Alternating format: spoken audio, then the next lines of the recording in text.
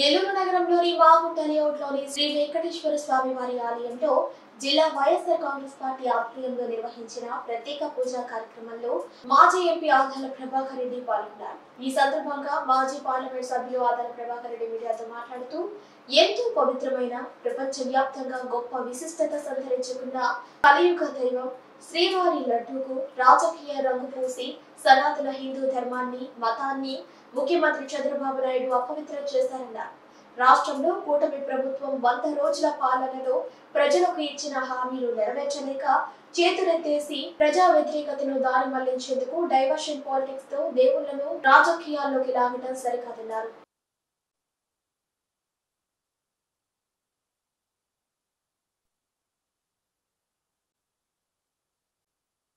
గత డెబ్బై సంవత్సరాలుగా రాజకీయాల్లోకి అనేక మంది రావడం అనేక మంది పోవడం జరిగింది. ఎప్పుడూ కూడా దేవుళ్ళని రాజకీయాల్లోకి తీసుకొచ్చిన పరిస్థితి మనం గతంలో ఎప్పుడూ కూడా చూడలేదు.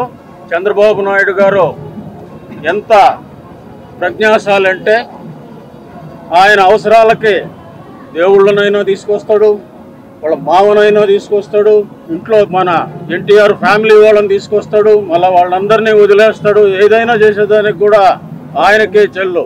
ఈరోజు ఆయన ఇచ్చిన వాగ్దానాల ఎన్నికల్లో నెరవేర్చే పరిస్థితి లేదు.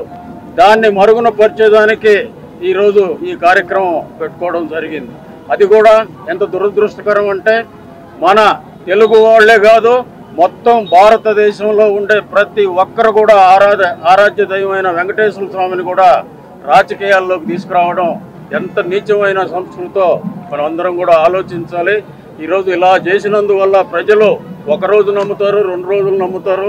విషయం నిదానంగా కూడా తెలుస్తుంది. తప్పకుండా దీన్ని అందరూ కూడా ప్రతి ఒక్కరు కూడా ఎవరు కూడా హర్షించడం లేదు. ప్రతి ఒక్కరు కూడా ఖండిస్తున్నారు. ఎన్ఎల్ హాస్పిటల్స్ సూపర్ స్పెషాలిటీ మరియు స్పెషాలిటీ డిపార్ట్మెంట్స్ నందు అత్యున్నతమైన నైపుణ్యం కలిగిన అధునాతన వసతులతో విశిష్ట వైద్య సేవలు అందిస్తున్న మా ఎన్ఎల్ హాస్పిటల్స్ ద్వితీయ వార్షికోత్సవ శుభ సందర్భంగా నెల్లూరు జిల్లా ప్రజలకు మిత్రులకు శ్రేయోభిలాషులకు మా హృదయపూర్వక శుభాకాంక్షలు. ఇట్లు management and staff NL hospitals PVR కళ్యాణ మండపం ఎదురుగా అన్నమయ్య సర్కిల్ దగ్గర మాగుంట లేఅవుట్ నెల్లూరు.